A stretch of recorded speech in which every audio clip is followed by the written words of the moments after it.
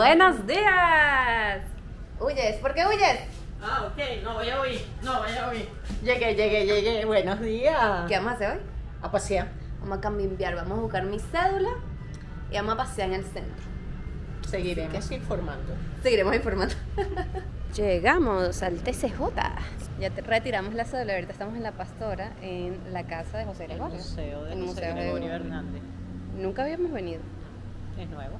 ¿Es nuevo? Sí. Ah, razón. imagino. Tiene cara que nuevo. Mira, aquí está José Gregorio. Y estos son ya le- El- Los yacimientos antiguos. mm, de la casa. Tiene como que toda esta parte de acá. Está bien, bien bonitos. O sea, estos eran de la época de la colonia, del año 1600.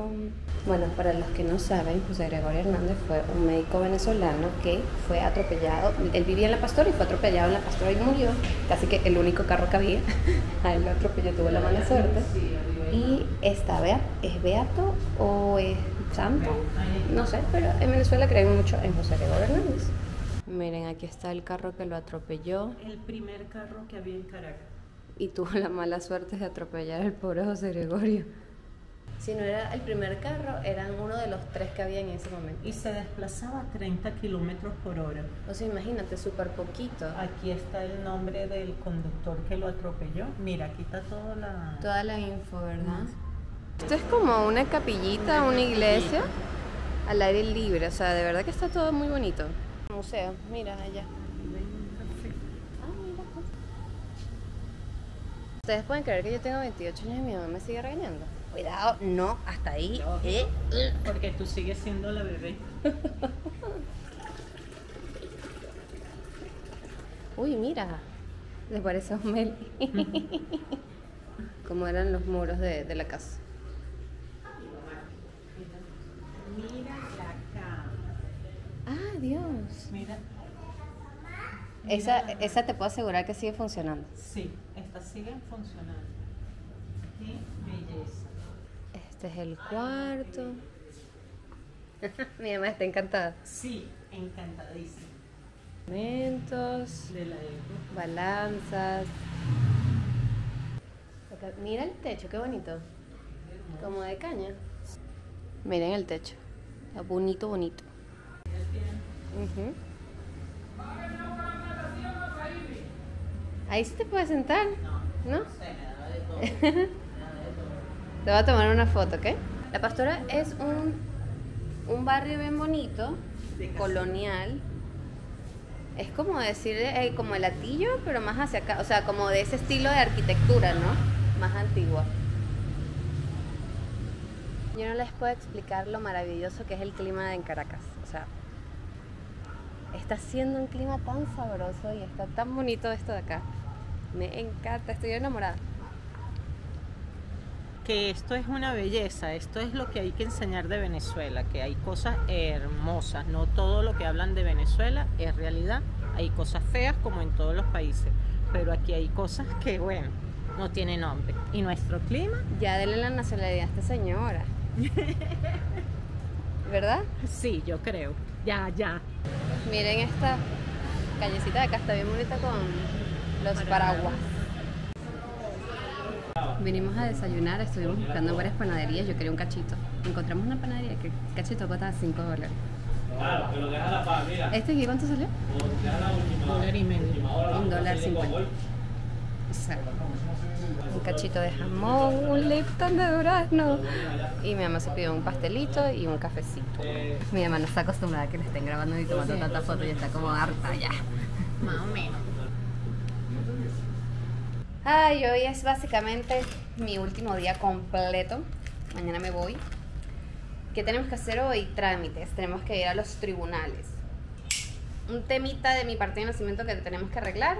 Ya vamos saliendo para los cortijos. Después de ahí vamos a almorzar. Y bueno, ya veremos qué va pasando en el resto del día.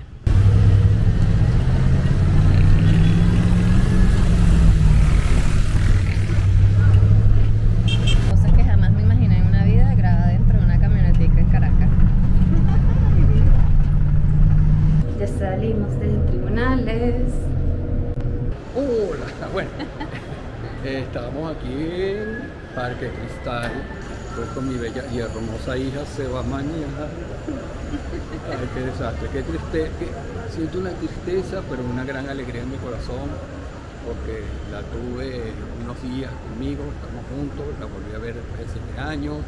Estoy muy feliz de que ella esté bien, que va muy bien en Ecuador, que Dios la bendiga y que bueno, que sigan sus éxitos y que sé que pronto nos vamos a volver a ver, pronto nos vamos a reunir con su hermano, con Daniel Dalí, bueno, con toda la familia, de verdad.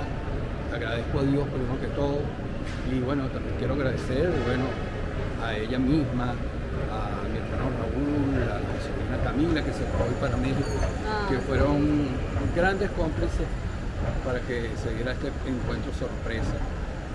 Pero bueno, tengo ganas de llorar, pero no sé si es de alegría, si es de tristeza. Yo creo que son las dos cosas y son unos sentimientos muy encontrados.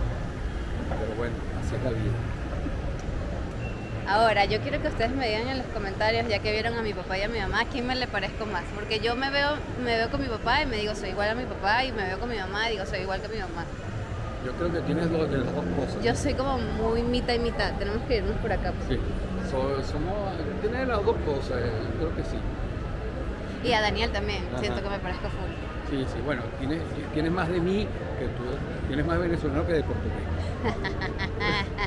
Pero el olor no. Ah, bueno. Estamos haciendo el recorrido que hacíamos con mi papá cuando éramos chiquitas. Yo era chiquita. Estamos en la casa mágica. Siempre veníamos por acá. Hay unas cosas que no les puedo mostrar porque la casa mágica también tiene sus pillerías.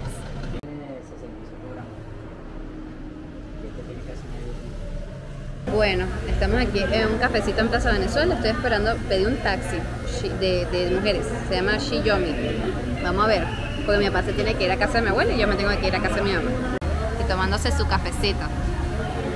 Ya llegué a mi casa. Oigan, hecho los tontos, caminamos de Los Risas hasta Plaza Venezuela. Mi papá ya estaba como cansado y yo podía seguir caminando.